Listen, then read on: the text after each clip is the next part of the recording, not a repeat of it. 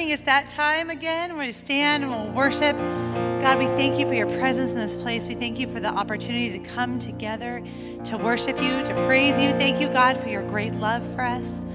Thank you, God, that you love us more than we can hope, can we, more than we can imagine, more than we can believe. God, I pray that we would just pour out our love on you today, that we would worship you in spirit and truth. In Jesus' name, amen.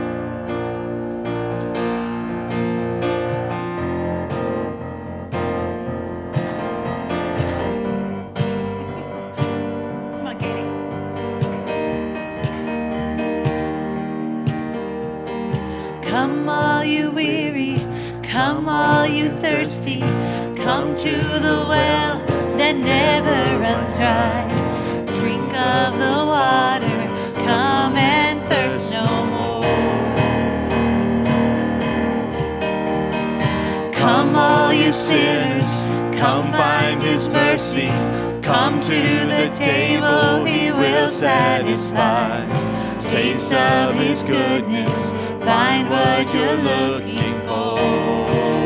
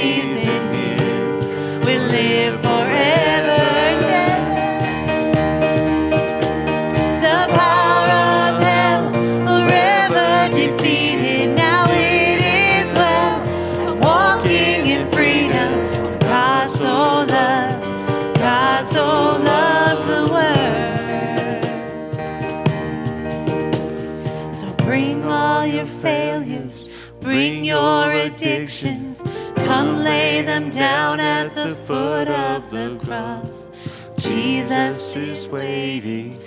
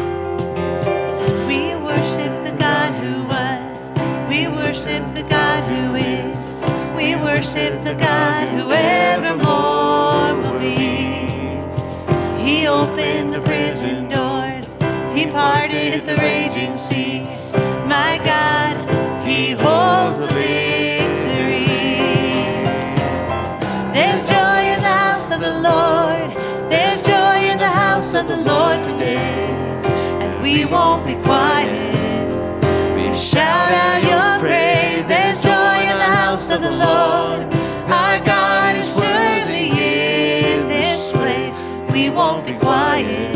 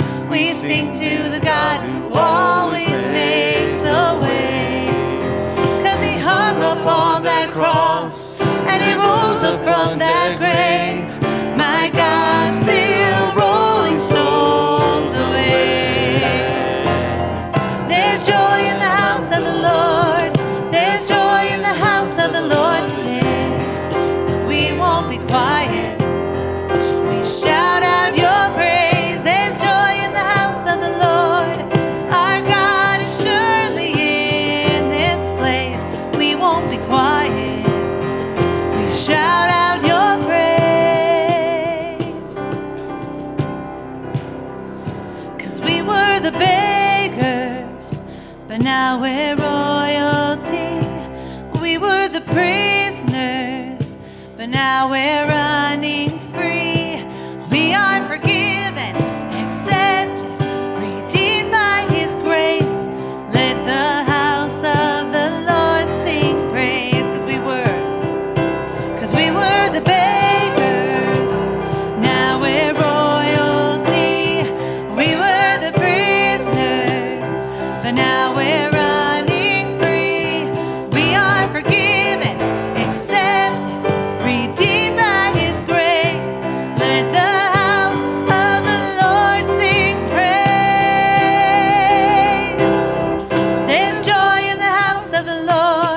There's joy in the house of the Lord today. And we won't be quiet. We shout out your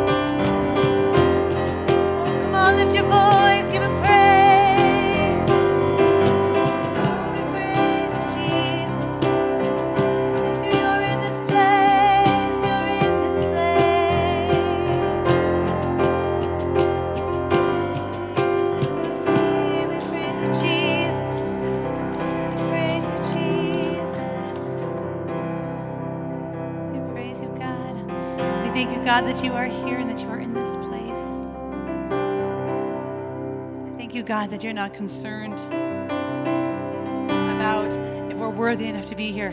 but you're just glad we're here. God, I thank you that as we sang that we were beggars and that we're royalty, that we're forgiven, that we're redeemed. God, help us to see ourselves the way you see us. Help us to walk in the callings and the, the, the directions that you've given us, God, not looking to our left, not looking to our right, not looking behind us, not looking at what qualifies us to worship you. But because of Jesus, we are made whole and we are made right with God. So we thank you, God, there is joy in this place. So there's joy in this place corporately, but there's joy in our hearts in this place, in the deep places of our hearts, in the deep places of our lives. There's joy. There's that, that river of life that springs up, that bubbles up because of you, Jesus. God, I thank you that you are here presence. Thank you, God, for your presence in this place.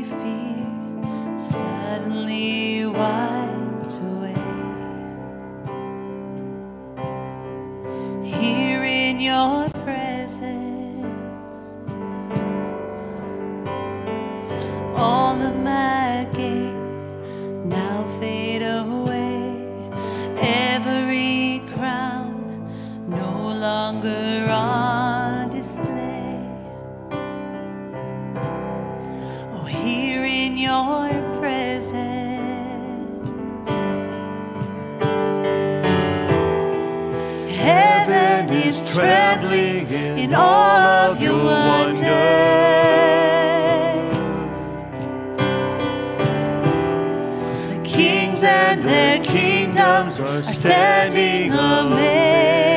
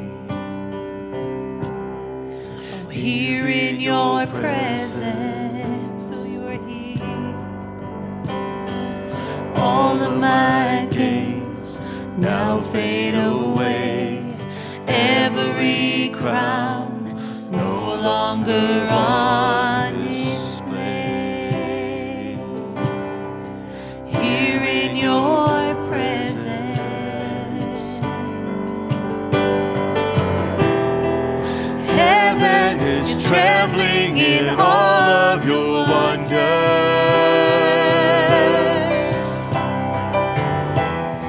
The kings and their kingdoms are standing.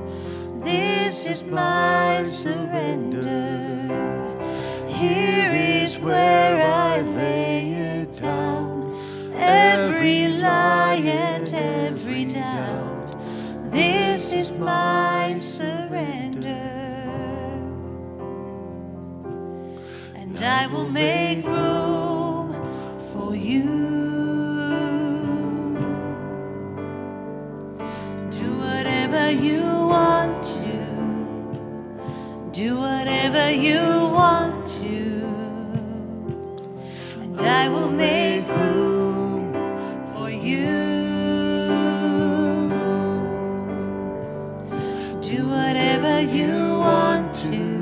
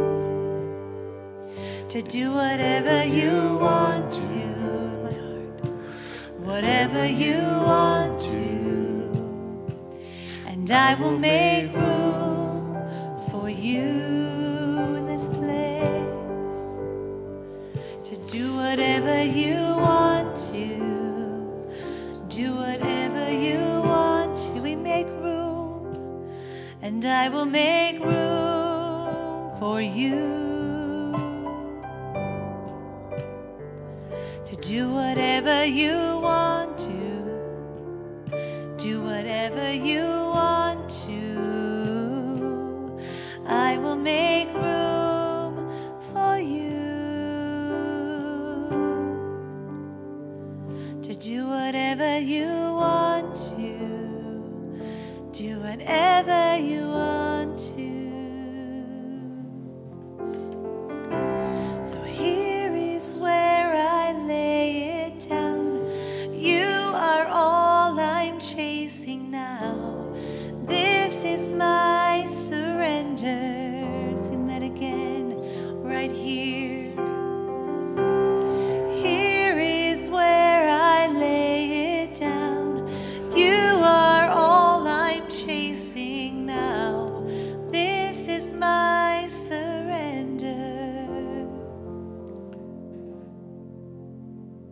That's our prayer, Jesus, that we just surrender to you right now.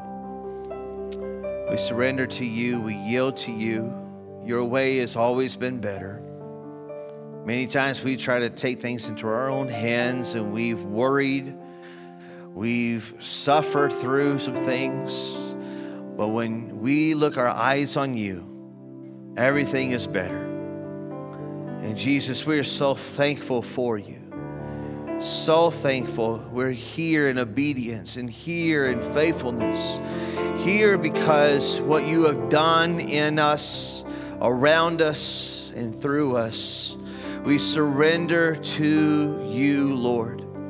We love you.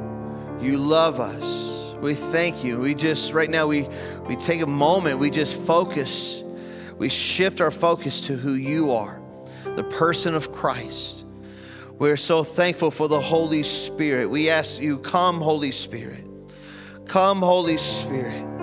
shift our eyes back to who you are. Let us come back to the heart of worship of who you are, oh God. God, forgive us for being distracted, for taking you for granted. God, we just put our focus on you. And we just receive from you right now in the name of Jesus. That was what you wanted us to do, Jesus. In Acts 1 8, you said, You shall receive. We just receive from you today. We've given you our worship, we give you our obedience and our faithfulness. We surrender to your glory. We love you. We praise you. We worship you. For you are so good. You're so good. Thank you, Jesus, for your presence. Hallelujah. Thank you, Jesus. Thank you for touching us. We pray in your wonderful name. In Jesus' name, amen. Amen. Well, good morning, everyone. So glad you're here. Why don't you just be seated right where you are? And uh, we're here, here at Crosswinds. And uh, give Becky a hand. Thank you so much for helping us. Thank you so much, Becky. You know, it's hard work. I'm up here trying to do drums and I don't know what I'm doing.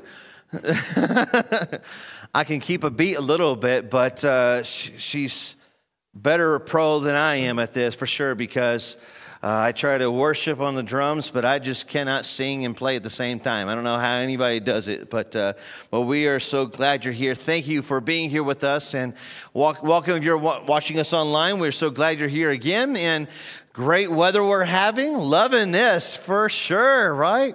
And uh, this is such a good treat for everyone to being here. And uh, we just want to just welcome everyone. Uh, while you're here watching us online, if we haven't met you yet, why don't you just scan that QR code or you can go to our website and get connected there. There's a white button. And uh, for all of us in the house, we have these cards here. So if you have a prayer request or you want to get in touch with us, maybe you want to have questions for our church, this is a great way for you to do that. And we'll follow up with you this week.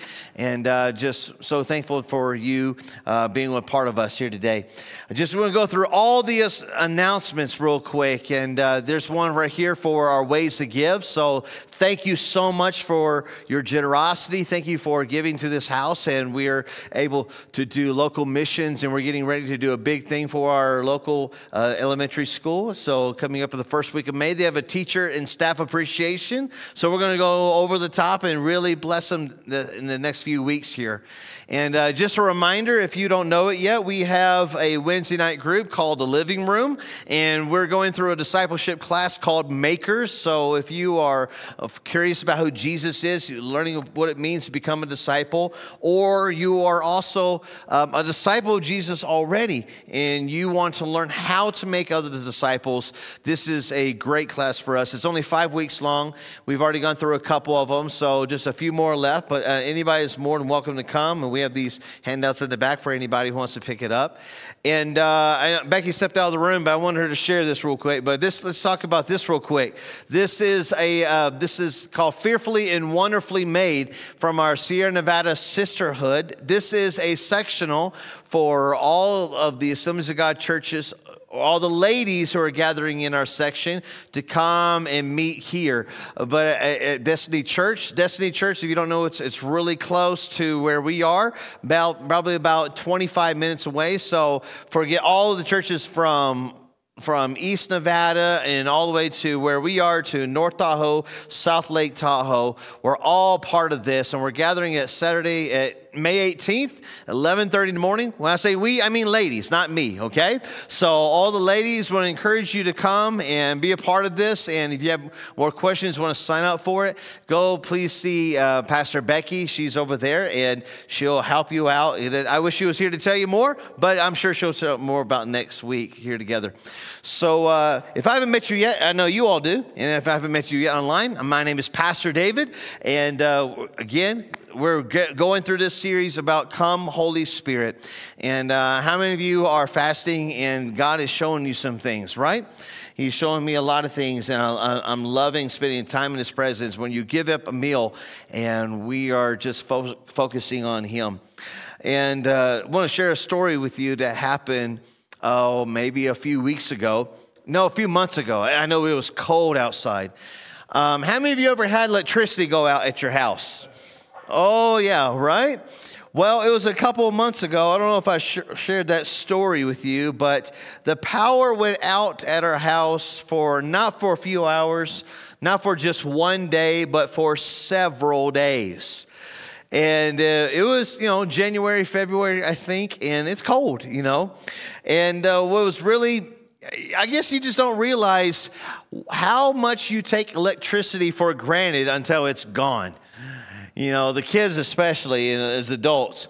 We had just gone grocery shopping. We loaded up the refrigerator, and things don't get cold for two or three days. So everything we bought is in the trash after all this. So that was frustrating. But it was just the simple things you don't even pay attention. Like, I'm going to get a towel out of the linen closet in the hallway. So I flip on the light. Like, oh gosh darn it, I forgot about that. How many times we were doing that, you know? Get out of the shower, turn on the hair dryer. Oh my gosh, you know, put that thing away. And uh, I can't tell you how many times I whipped out my phone and like, oh, oh, you know, my battery's going low. Plug that thing in. Like, what's wrong with this charger? You know, and just not even thinking it through. You, we just take for granted for all the electricity. Well, you couldn't even wash clothes. Think about it. The dryer also doesn't work. You, you can't wash dishes because the hot water heater has gone out because there's no electricity. So we're just stuck here in this cold house, and I'm starting to get creative, no matter how dangerous it is, I know. But I know we have gas, so I turned on the stove and I lit up the gas burners on the stove, and I just, with a match, and let it burn for an hour. And I know that's just putting fumes in a house, but we were cold, you know. So, but we were just doing anything we could just because the power's out. That's what it is. What was so irritating, this happened for days. If I just walked two blocks down, because we have a dog, we walk our dog, they had power. And I couldn't believe it. Like, what is going on? The porch lights are on everything, just two streets down from our house. And they're like, like not, not care in the world. And it was just so dark on our side. It felt like we were in Egypt, you know, like one of the plagues. Like, what's wrong with us? You know, the Israelites have light we don't have light. What's going on? And it was just irritating because I wanted their power. I'm like, how come we can't just, you know, turn them off for a few days and turn us back on? You know, can we do that? That trade. But that was it. You know, just life isn't the same without power, isn't it? Power really just makes everything be so much better. And uh, I wish we could just have it on during that time. But here it is. We're in a series of Come Holy Spirit. We're talking about there's more. Talking about who the Holy Spirit is. And that story reminds me for every believer who is in Christ that we are to have power. We need God's power. The power to live the life that Christ expects us to live. Jesus expects all of us to live powerfully in the kingdom of God, to bring the kingdom of God to people, right? That was what Jesus' mission was. He brought the kingdom of God in heaven right there, right at, this, at the time and at the proximity of people around him. We're to do the same thing, to continue that same work. Believers need to have power. And we know this because Jesus promised this. And he was spending time with his disciples. And while we've been fasting for these 50 days, the Holy Spirit has poured out uh, in Acts 2. And we are waiting, well, we're waiting till the he, he was resurrected and all the way till the till Acts 2 happens. 50 days is when the Holy Spirit pours out. He spends time with his disciples for 40 days of that time, and he shares with them this verse. It's our key verse, Acts 1 8. And we've walked it through a little bit, and it says what Jesus said, but you will receive power. We're going to talk about power today. And the verse continues, he says, When the Holy Spirit comes on you, and you will be my witnesses in Jerusalem, in all Judea and Samaria, and to the ends of the earth. And so we're going to answer some questions here today. What is this power? Why do we need this power? How do we get this done? What does all of this mean here? So, going through these questions, like, what is this power Jesus is talking about? Because Jesus does, does give his power to his followers. If you look up that word power in the original language, he said, You will receive dunamis. Dunamis. Can you just try to say that word, dunamis? Dunamis. Now, I'm bringing it up because it's really important. It's so important that it's used 120 times in the entire New Testament. So it is really important for us to really take a study on what power means when he said power. By the word, the definition of power is it really just means power, it means strength, it means might and ability. And it's needed to perform. And for the believer, it's, it's power that's needed to achieve by applying all of the Lord's inherent abilities. So, really, in summary, and really simply, we're just going to say it's power through God's ability to the believers. What is God able to do when you think about that? That is power. And that power is given to the believers. Well, backing it up a little bit, we know that Jesus had this power. If you look at the book of Acts, chapter 10, verse 38, it says, Jesus of Nazareth, how God anointed him with the Holy Spirit and with power, dunamis, and how he went about doing good in healing all who were oppressed by the devil, for God was with him. See, what did Jesus do here with this power? You see it right there. He's doing good, He's healing people. He's delivering people who are oppressed by the devil. He is literally destroying the devil's work using this power, the ability of God that God gave him.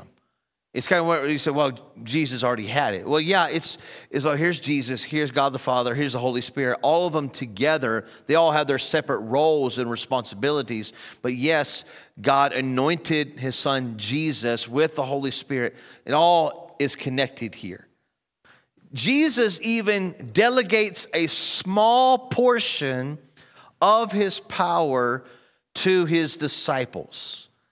We see in Luke chapter 9, verses 1 through 2, just a few disciples, really. It says, when Jesus had called the 12 together, only 12 of them, he gave them power, dunamis, and he gave them authority. We're going to talk about that power and authority to drive out demons and to cure diseases.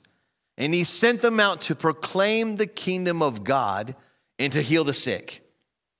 So, power and authority. Power would be the raw ability of God. Just how, what is God able to do? Anything, right? I mean, God Almighty creating the heavens and the earth, putting the stars in the skies, putting planets out there, galaxies out. We are just exploring just because. I mean, what is God able to do? Anything and everything. He gave them this power, and he also, it's interesting, Jesus gave them authority. That is the right to use that power. But it was such a delicated mission, it is so limited. Because this is before the Holy Spirit's even poured out. So he gives them a limited mission, delegates some of his power, and the ministry is so specific. All you're going to do is drive out demons, cure diseases, preach and heal the sick. When you say that's all you're going to do, really? That's a lot, right? but you can't do anything past that. Okay? You can only do these four things heal, cure diseases, heal the sick, cast out demons, and preach. This was delegated to them. That was the mission. But since the Holy Spirit was poured out in Acts 2, this is now limitless. Everything is on the table of God's ability to the believers. And the Apostle Paul talks about this. He's one example. in the book of Romans, he was talking about how he fulfills the ministry of the gospel of Christ. What does that ministry look like? In Romans 15, 18 through 19, he said, I did it by word and deed. I did it by the power of signs and wonders. I did it by the power of the Spirit of God. All of this done by the Spirit of God. There's a connection between the Holy Spirit and power. You see that? When he says by word and deed, he, he has the Holy Spirit's power to preach like nothing else. Like this is all no, no doubting, no holding back. He is bold and courageous in his preaching. And indeed, the Holy Spirit helps him in all of the deeds that he's doing, all the good works. And now he's doing signs and he's doing wonders. We call those miracles, the unexplainable the indescribable works of God. He has the authority to exercise these things. This is the power Jesus meant to give. And really, anyone who has this power from the Holy Spirit has the same ability. So that is, that is the power. But you think about why do we need this power? Because the believers are to be fully empowered by the Holy Spirit. Why do we need this? Well, I think it's really important that we clear some things up because we all have different backgrounds, whether you've been in church for a long time or not, but you may have heard one thing from one side or from one church from another. And sometimes, you know, this church doesn't agree with what this church is saying, this pastor doesn't agree with this person is saying, because what the Holy Spirit does. And some people believe miracles are not for today. Some people believe the baptism of the Holy Spirit was only that one time and that was it. Some people believe all things about it's all, it's all over the place. So instead of just saying things, why don't we just say what the Bible says? Okay? The Bible literally says many times in the Bible, like in Ephesians is one of them, Romans is another one. We don't have the time to go through them, but if you want it, I can give you the verses so you don't call me out as a liar. When a believer, what I mean by believer, when a person who puts their trust and obedience into Jesus Christ, the Son of God, as their Lord and Savior, meaning I've asked Jesus to forgive me, I'm going to walk the walk of faith with Jesus. The Bible says you have the Holy Spirit at salvation. Okay? Now, it talks about what that means is that the Holy Spirit is, is a seal talks about a deposit, a mark, an identification. And when you think about that word deposit, and I love how, it, how the, the book of Ephesians talks about deposit because we get that. I don't know if you finance anything, but I try not to finance anything because debt has ruined my life. But when you put down a deposit on, onto a house, right, you know what must come later are payments, right? You don't have the full transaction. It would just be paid in full. So the Holy Spirit is given to us at salvation as a deposit. That means what? More is coming. It says deposit. He talks about it as the, the well, not the Holy Spirit is not it though. He talks about how he, the Holy Spirit, is a seal. Think about in the old days when they would seal up an envelope, they would put wax on it and put a, an, a seal right there locks in the salvation there. And it talks about how the Holy Spirit is a mark. Really, the Holy Spirit is an identification that you belong to Christ. You have the Spirit of Christ at salvation. The seal of the Holy Spirit helps us to be like Christ in every way. Now fruit comes out. You don't pray that, well, you don't say, well, I want to be more loving today. I want to be more joyful today, more peaceful today. It's not that way. It's the Holy Spirit, once He's in you, making you more Christ like, it should just flow out of you. So, loving, joy, peace, patience, kindness, goodness, faithfulness, gentleness, and self control. All these comes out. So, the Holy Spirit, yes, one thing is the Holy Spirit seals us in salvation to be more Christ like. And the Holy Spirit is more. There's more for us. That's the power part. When Jesus says, You will receive power, you have to begin to ask that question why did Jesus tell believers who already had the Holy Spirit seal on their lives? Why did he tell them to wait until you receive power from the Holy Spirit? Why is that? Because there's more. Say there's more. There's more. There, that was a deposit. There is more coming. And it's more is supposed to be added to the believer to complete Christ's work. Remember, this is a promise. It's not a command, you better take this Holy Spirit or else. It wasn't like that. it was a promise, not a command. So this is not a salvation issue here.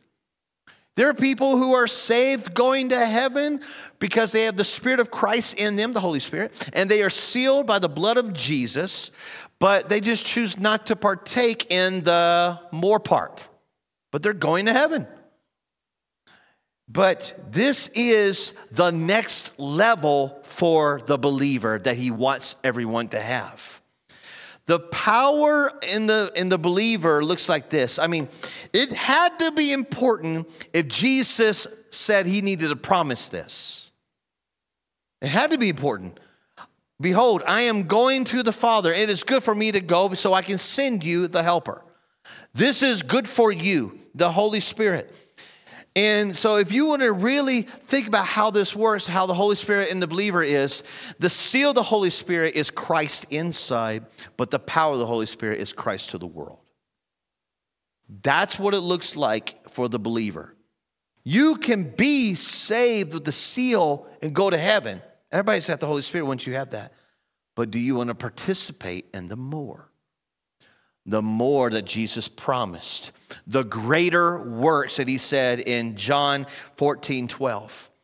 Behold, you are going to do the same works as I do. Yes, even greater works than these, because I'm going to the Father, because I'm giving you the Spirit. What are these greater works? Casting out demons, preaching with boldness, being a witness, healing people curing diseases, signs and wonders that you cannot explain, prophesying, all these amazing gifts and, and things that the Holy Spirit wants to do. Power is needed if you are going to talk about the kingdom of God. Power is needed if you and I are going to demonstrate through signs and wonders to people who don't know Jesus. If anything, the church today needs power. The church needs power.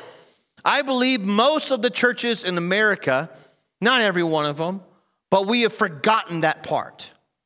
We don't have power, and it makes the church weak.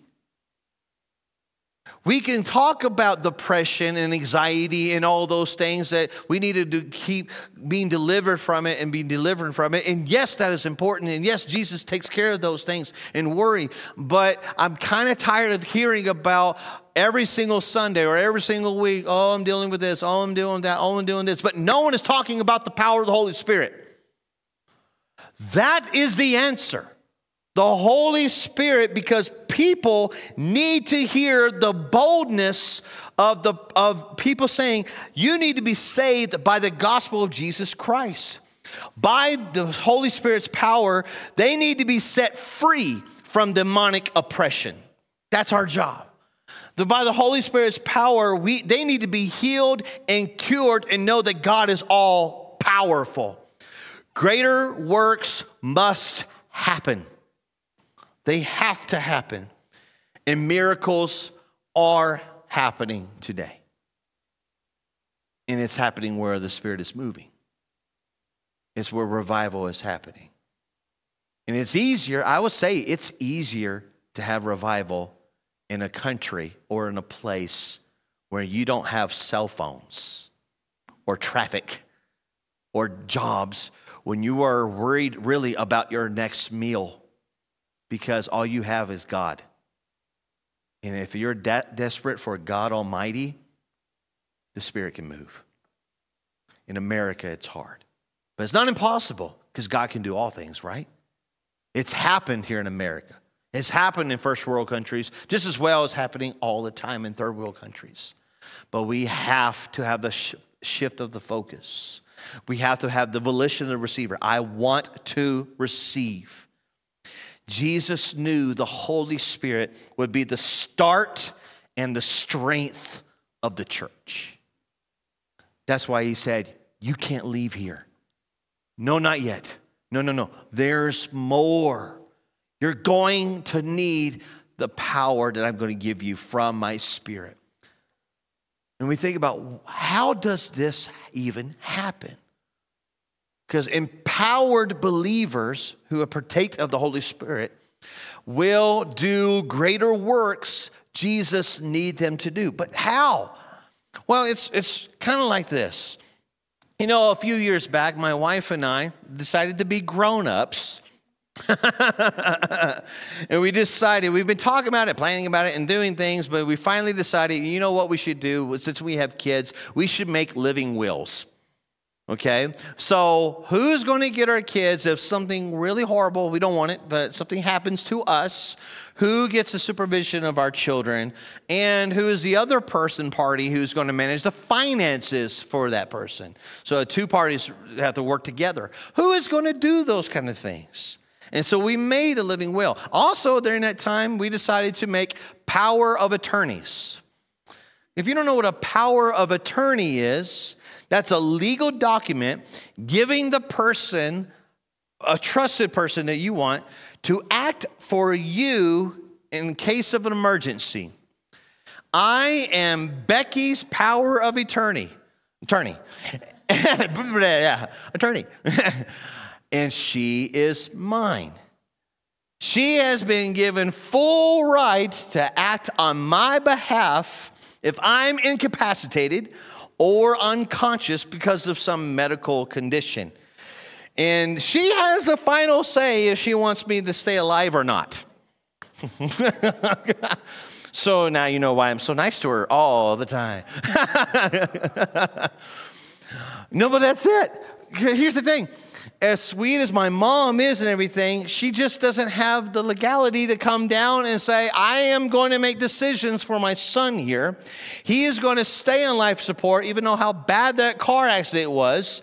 You know, he is, we're going to just, you know, do this for the next 10 years and put the financial strain on my wife. No, she's the power of attorney.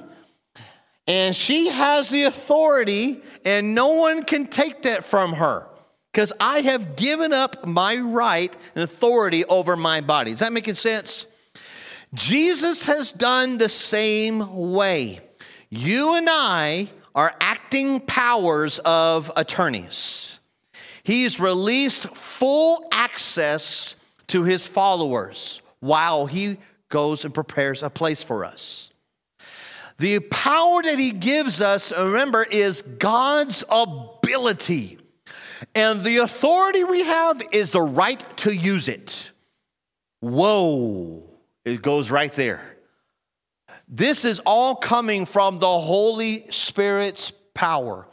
This is not where we start questioning, well, can I? Uh, should I? And no, Becky does not, in a time of need, hope it never happens, but she is not going to hold this document goes, well, should I exercise my authority? Well, I mean, can I do this? I'm not so sure, you know. She's going to do it. It's her right to do so. And it's our right to exercise his power for greater works. When we receive power and authority from the Holy Spirit, we must exercise that power for the kingdom of God on Christ's behalf. See how much He trusts us? This is a lot of trust. So, what does that mean when you have the power of the Holy Spirit through the baptism of the Holy Spirit? And we'll talk about that when it comes later. When you see sick people, Pull out the piece of paper. It's my right. I have the job to do. I'm going to go out there and heal them in Jesus' name. That's my right. That's my responsibility. And Jesus talked about it all the time. We sang it that on earth as it is in heaven. What does that mean? Whatever Jesus has prepared up in heaven needs to happen down here on earth. He talked about binding up things and releasing things, right? Binding up of the oppression and things. And trust me, there are no sick people in heaven. If there were, I don't want to go there. There's no crying, there's no pain, there's no sick people. If I see one on this planet, my job is to exercise that right. And there are no oppression of the enemy up in heaven. There's no demon possessed people. There's no demon oppressed people as well. So if I see someone who is suffering, it's my power that God has given me to exercise the right, to see it be gone in Jesus' name. And there are no dead people in heaven either. There are not. So many stories of people who were empowered by the Holy Spirit, walked in the Holy Spirit, and saw things you couldn't even explain. Arms growing out of limbs that are not there. Recorded documents of testimonies. You want to read about them? You want to hear about people? Read about Heidi Baker.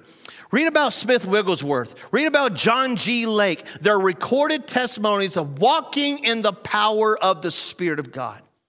They had the authority, and that's all they trusted. This is real. They don't back down when the enemy has set up a stronghold. They exercise their right to tear it down. We have a direct connection to God's power. Power is needed in the believer's life. It's the next step. That was just the first deposit, getting Jesus. And that's more than enough. But there's more. There's so much more. That's why we're here, to do the more. And when all of the believers are empowered by the Holy Spirit, then really all hell can't break loose. Only heaven is released on earth as it is in heaven. You know, I want to conclude in this way. I think this is just a, be a, a great moment just to say, you know, Lord, I want more. There's so much more that I, I, I maybe have not participated in, partaked in, and I've just been kind of, I've been comfortable, and I am saved, and I'm going to heaven, but I want the more. I want to be able to have the Spirit of God work through me powerfully so people around me can be touched by Jesus. I want that.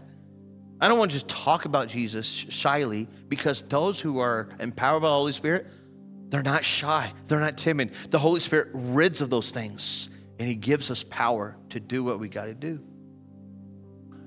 So this is how I want to do it. As, we're, as we're as we're going into this week of more fasting and praying, let that be your prayer this week. Let that be your focus. Oh Lord, send your power. I want to receive your power.